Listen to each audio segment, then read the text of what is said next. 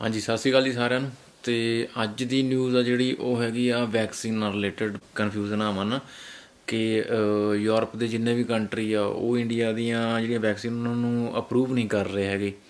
ਕਿ ਕਿਹੜੀ ਵੈਕਸੀਨ ਹੁਣ ਬੰਦੇ ਵੀ ਬਹੁਤ ਕਨਫਿਊਜ਼ ਹੋਏ ਆ ਇੰਡੀਆ ਦੇ ਵਿੱਚ ਕਿ ਕਿਹੜੀ ਵੈਕਸੀਨ ਲਵਾਈ ਜਾਵੇ ਜਾਂ ਕਿਹੜੀ ਨਾ ਲਵਾਈ ਜਾਵੇ।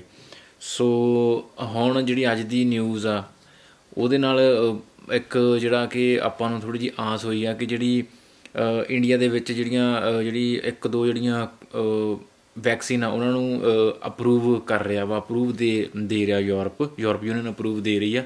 ਉਹਦੇ ਵਿੱਚ ਕੋਵਿਡਸ਼ੀਲਡ ਜਿਹੜੀ ਆ, ਉਹ ਹੈਗੀ ਆ। ਕੋਵਿਡਸ਼ੀਲਡ ਨੂੰ ਜਿਹੜੀ ਅਪਰੂਵ ਮਿਲ ਰਹੀ ਆ। ਇਹਦਾ ਇਹ ਕਾਰਨ ਆ ਕਿ ਜਿੱਦਾਂ ਕਿ ਹੁਣ ਇੰਡੀਆ ਤੋਂ ਜਿੰਨੇ ਵੀ ਬੰਦੇ ਜਿਹੜੇ ਆ ਇੰਡੀਆ ਤੋਂ ਯੂਰਪ 'ਚ ਜਾਂਦੇ ਸੀ, ਕਿਸੇ ਵੀ ਕੰਟਰੀ ਦੇ ਵਿੱਚ, ਉਹਨਾਂ ਨੂੰ 14 ਦਿਨ ਵਾਸਤੇ ਜਿਹੜਾ ਕੁਆਰੰਟਾਈਨ ਰਹਿਣਾ ਪੈਂਦਾ ਸੀਗਾ ਕੁਆਰੰਟਾਈਨ ਹੋਣਾ ਪੈਂਦਾ ਸੀਗਾ 14 ਦਿਨ ਵਾਸਤੇ। ਜਦ ਕਿ ਜਦੋਂ ਯੂਰਪ ਤੋਂ ਜੇ ਜੇ ਕੋਈ ਵੀ ਬੰਦਾ ਸੀ, ਆਉਂਦਾ ਸੀਗਾ ਇੰਡੀਆ ਤੇ ਜਿਹੜੀ ਗਵਰਨਮੈਂਟ ਆ ਇੰਡੀਆ ਦੀ, ਉਹ ਉਹਨਾਂ ਨੂੰ ਕੁਆਰੰਟਾਈਨ ਨਹੀਂ ਕਰਦੀ ਸੀ, ਕਿਉਂਕਿ ਉਹਨਾਂ ਦੇ ਵੈਕਸੀਨ ਲੱਗੀ ਹੋਈ ਸੀ। ਪਰ ਜੇ ਇੰਡੀਆ ਤੋਂ ਕੋਈ ਵੈਕਸੀਨ ਲਵਾ ਕੇ ਯੂਰਪ 'ਚ ਜਾਂਦਾ, ਤੇ ਉਹਨਾਂ ਨੂੰ ਕੁਆਰੰਟਾਈਨ ਹੋਣਾ ਪੈਂਦਾ ਸੀ।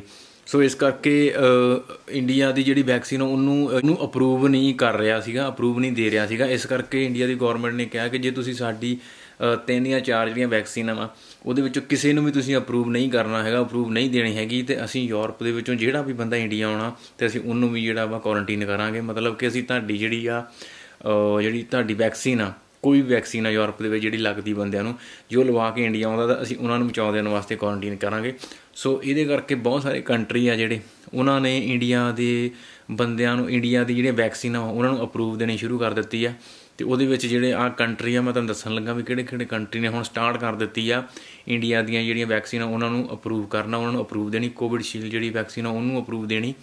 ਤੇ ਇਥੋਂ ਇਹ ਜਿਹੜੇ 5 ਤੋਂ 6 ਕੰਟਰੀ ਆ, ਇਹਦੇ ਵਿੱਚ Germany, Austria, Greece, Iceland, Ireland, ਇਹ ਜਿਹੜੇ ਕੰਟਰੀ ਆ, ਇਹਨਾਂ ਨੇ ਜਿਹੜੀ ਆ ਅਪਰੂਵ ਦੇ ਦਿੱਤੀ ਆ, ਜਿਹੜੀ ਇੰਡੀਆ ਦੀ ਵੈਕਸੀਨ ਆ, ਉਹਨੂੰ ਅਪਰੂਵ ਦੇ ਦਿੱਤੀ ਆ ਕਿ ਜੇ ਇਹ ਇਹ ਕੰਟਰੀ ਜਿਹੜੇ ਆ, ਕਿ ਜੇ ਇੰਡੀਆ ਦੇ ਵਿੱਚ ਜੇ ਵੈਕਸੀਨ ਦੀਆਂ ਦੋਵੇਂ ਡੋਜ਼ ਬੰਦੇ ਤੇ ਲੱਗੀਆਂ ਹੋਈਆਂ ਵਾ, ਤੇ ਉਹ ਇਹਨਾਂ ਕੰਟਰੀਆਂ ਵਿੱਚ ਆਉਂਦਾ ਤੁਹਾਨੂੰ ਕੁਆਰੰਟਾਈਨ ਚ ਆਉਣ ਦੇਣ ਵਾਸਤੇ ਕੀਤਾ ਨਹੀਂ ਜਾਊਗਾ।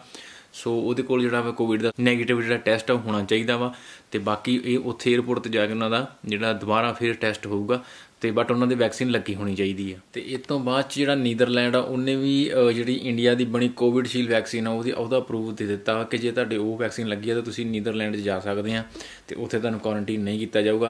ਤੇ ਇਸ ਤੋਂ ਬਾਅਦ 'ਚ ਜੇ ਤੁਸੀਂ ਟਰੈਵਲ ਕਰਦੇ ਆ ਯੂਰਪ ਦੇ ਵਿੱਚ, ਤਾਂ ਤੁਹਾਡੇ ਕੋਲ ਗ੍ਰੀਨ ਪਾਸ ਹੋਣਾ ਜਿਹੜਾ ਉਹ ਜ਼ਰੂਰੀ ਆ। ਤੇ ਗ੍ਰੀਨ ਪਾਸ ਨੂੰ ਜਿਹੜਾ ਅਪਲਾਈ ਕਰਨ ਵਾਸਤੇ ਤੁਹਾਨੂੰ ਤੁਹਾਡੇ ਵੈਕਸੀਨ ਲੱਗੀ ਹੋਣੀ ਚਾਹੀਦੀ ਹੈ। ਤੇ ਜੇ ਤੁਹਾਡੇ ਕੋਵਿਡਸ਼ੀਲਡ ਵੈਕਸੀਨ ਲੱਗੀ ਆ, ਉਹ, ਉਹਦਾ ਸਰਟੀਫਿਕੇਟ ਦਿਖਾ ਕੇ ਜਿਹੜਾ ਵਾ ਗ੍ਰੀਨ ਪਾਸ ਉਹ ਅਪਲਾਈ ਕਰ ਸਕਦੇ ਹੋ। ਸੋ ਇਹਦਾ ਇਹਨਾਂ ਸਾਰੀਆਂ ਚੀਜ਼ਾਂ ਦਾ ਇਹੀ ਕਾਰਨ ਆ ਕਿ ਇੰਡੀਆ ਵਿੱਚ ਜਿਹੜਾ ਨਵਾਂ ਵੇਰੀਐਂਟ ਡੈਲਟਾ ਪਲੱਸ ਆਇਆ ਉਹਦੇ ਕਰਕੇ ਕੇਸ ਜਿਹੜੇ ਬਹੁਤ ਵੱਧ ਵੱਧ ਰਹੇ ਆ ਤੇ ਹੋਰਾਂ ਕੰਟਰੀਆਂ ਵਿੱਚ ਵੀ ਜਿਹੜੇ ਕੇਸ ਬਹੁਤ ਵੱਧ ਰਹੇ ਸੋ ਇਸ ਕਰਕੇ ਯੂਰਪ ਦੇ ਕੰਟਰੀਆਂ ਨੇ ਜਾਂ ਹੋਰਾਂ ਕੰਟਰੀਆਂ ਨੇ ਜ਼ਿਆਦਾ ਸਖਤਾਈ ਕੀਤੀ ਆ ਕਿ ਉਹਨਾਂ ਦੀ ਕੰਟਰੀ ਦੇ ਵਿੱਚ ਦੁਬਾਰਾ ਜਿਹੜਾ ਵਾ ਕਿ ਕੋਵਿਡ ਦਾ ਜਿਹੜਾ ਕਰੋਨਾ ਵਾਇਰਸ ਦਾ ਦੁਬਾਰਾ ਜਿਹੜੇ ਕੇਸ ਵਧਣ ਨਾਲ ਲੱਗ ਪੈਣ। ਸੋ ਇਸ ਕਰਕੇ ਉਹ ਇਹਨਾਂ ਕੰਟਰੀਆਂ ਨੂੰ ਜ਼ਿਆਦਾ ਸਖਤੀ ਨਾਲ ਲੈ ਰਹੇ ਆ, ਜਿਨ੍ਹਾਂ ਦੇ ਵਿੱਚ ਕੇਸ ਜ਼ਿਆਦਾ ਵਾ, ਜਿੱਦਾਂ ਇੰਡੀਆ ਬੰਗਲਾਦੇਸ਼ ਪਾਕਿਸਤਾਨ ਵਗੈਰਾ। ਜਾਂ ਹੋਰ ਇੰਗਲੈਂਡ ਯੂਕੇ ਵਰਗੇ ਜਿਹੜੇ ਕੰਟਰੀ ਆ, ਇਹਨਾਂ ਵਿੱਚ ਕੇਸ ਜਿਹੜੇ ਹੁਣ ਦੁਬਾਰਾ ਫੇਰ ਵੱਧ ਰਹੇ ਆ। ਸੋ ਇਸ ਕਰਕੇ ਇਹ ਜਿਹੜੀ ਆ ਪ੍ਰੋਬਲਮ ਆ ਰਹੀ ਆ। ਇਹਦੇ ਨਾਲ ਹੀ ਤੁਹਾਨੂੰ ਮੈਂ ਇੱਕ ਹੋਰ ਗੱਲ ਦੱਸਣੀ ਚਾਹੁੰਦਾ ਕਿ ਜਿਹੜਾ ਇਹ ਜਿਹੜਾ ਇੰਡੀਅਨ ਦੀ ਜਿਹੜੀ ਇੰਡੀਆ ਦੀ ਜਿਹੜੀ ਵੈਕਸੀਨ ਆ, ਉਹਦਾ ਜਿਹੜਾ ਅਪਰੂਵ ਆ ਯੂਰਪ ਯੂਨੀਅਨ ਕੋਲ ਹਜੇ ਪੈਂਡਿੰਗ ਆ। ਯਾਨੀ ਯੂਰਪ ਯੂਨੀਅਨ ਨੇ ਹਜੇ ਉਹਦਾ ਅਪਰੂਵ ਨਹੀਂ ਦਿੱਤਾ ਹੈਗਾ ਬਟ ਯੂਰਪ ਦੇ ਹੋਰ ਜਿਹੜੇ ਕੰਟਰੀ ਆ, ਉਹ ਅਪਰੂਵ ਕਰ ਰਹੇ ਆ। ਤੇ ਇਹ ਤੋਂ ਅਹ, ਇਹ ਤੋਂ ਬਾਅਦ ਗੱਲ ਕਰ ਲੈਂਦੇ ਸਿੰਗਾਪੁਰ ਦੀ। ਸਿੰਗਾਪੁਰ ਨੇ ਵੀ ਜਿੱਦਾਂ ਇੰਡੀਆ ਦੇ ਕੋਈ ਵੀ ਬੰਦਾ ਜਿਹੜਾ ਸਿੰਗਾਪੁਰ ਜਾਂਦਾ ਵਾ ਤੇ ਉਹਨੂੰ ਜਿਹੜਾ ਕੁਆਰੰਟਾਈਨ ਕੀਤਾ ਜਾਊਗਾ ਅਹ, 14 ਦਿਨ ਵਾਸਤੇ। ਸੋ ਇਹ ਜਿਹੜੇ ਨਵੇਂ ਜਿਹੜੀ ਨਵੀਂ ਲਿਸਟ ਆ ਉਹ ਹੁਣ ਜਾਰੀ ਕੀਤੀ ਆ। 3 ਜੁਲਾਈ ਤੋਂ ਸਿੰਗਾਪੁਰ ਦੇ ਜਿਹੜੀ ਗਵਰਨਮੈਂਟ ਨੇ ਜਾਰੀ ਕੀਤੀ ਆ ਕਿ ਜੇ ਕੋਈ ਵੀ ਬੰਦਾ ਇੰਡੀਆ ਤੋਂ ਸਿੰਗਾਪੁਰ ਜਾਊਗਾ ਤਾਂ ਉਹਨੂੰ 14 ਦਿਨ ਵਾਸਤੇ ਕੁਆਰੰਟਾਈਨ ਕੀਤਾ ਜਾਊਗਾ। ਤੇ ਨਾਲ ਹੀ ਇੱਕ ਹੋਰ ਕਿਹਾ ਕਿ ਸਿੰਗਾਪੁਰ ਵਿੱਚ ਸਿੰਗਾਪੁਰ ਦਾ ਨਾਗਰਿਕ ਜਾਂ ਫਿਰ ਜਾਂ ਜਿਸ ਬੰਦੇ ਕੋਲ ਸਿੰਗਾਪੁਰ ਦੀ ਪੀਆਰ ਆ, ਉਹੀ ਬੰਦਾ ਅਲਾਉ ਐਂਟਰ ਹੋ ਸਕਦਾ ਵਾ, ਦੂਸਰਾ ਬੰਦਾ ਨਹੀਂ ਐਂਟਰ ਹੋ ਸਕਦਾ। ਤੇ ਇਸ ਤੋਂ ਬਾਅਦ ਚ ਗੱਲ ਕਰ ਦਿੰਦੇ ਆ ਰਮਾਨੀਆ ਦੀ।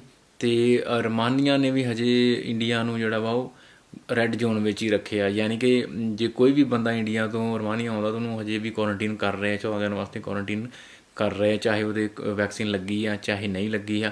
ਸੋ ਰਮਾਨੀਆ ਨੇ ਹਜੇ ਅਪਰੂਵ ਨਹੀਂ ਦਿੱਤੀ ਹੈਗੀ ਜਿਹੜੀ ਆ ਇੰਡੀਆ ਦੀ ਵੈਕਸੀਨ ਆ। ਤੇ ਜਿੱਦਾਂ ਹੀ ਉਹ ਰਮਾਨੀਆ ਕੰਟਰੀ ਅਪਰੂਵ ਦੇ ਦੂਗਾ ਵੈਕਸੀਨ ਨੂੰ, ਕਿਸੇ ਵੀ ਵੈਕਸੀਨ ਨੂੰ, ਜਿਹੜੀਆਂ ਤਿੰਨ ਜਾਂ ਚਾਰ ਵੈਕਸੀਨ ਜਿਹੜੀਆਂ ਇੰਡੀਆ 'ਚ ਲੱਗ ਰਹੀਆਂ, ਤੇ ਮੈਂ ਤੁਹਾਨੂੰ ਨਾਲ ਹੀ ਉਹਦੀ ਕੋਈ ਅਪਡੇਟ ਜਿੱਦਾਂ ਵੀ ਹੋਈ ਮੈਂ ਅਪਡੇਟ ਤੁਹਾਨੂੰ ਦੇ ਦੂੰਗਾ। ਸੋ ਇਹ ਸੀਗੀਆਂ ਕੁਝ ਨਿਊਜ਼ ਕੋਵਿਡ ਨਾਲ ਰਿਲੇਟਡ ਵੈਕਸੀਨ ਨਾਲ ਰਿਲੇਟਡ ਤੇ ਜੇ ਤੁਹਾਨੂੰ ਵੀਡੀਓ ਚੰਗੀ ਲੱਗੀ ਆ, ਤੇ ਲਾਈਕ ਤੇ ਸ਼ੇਅਰ ਜ਼ਰੂਰ ਕਰਿਓ। ਸੋ ਧੰਨਵਾਦ ਜੀ ਸਾਰਿਆਂ ਦਾ।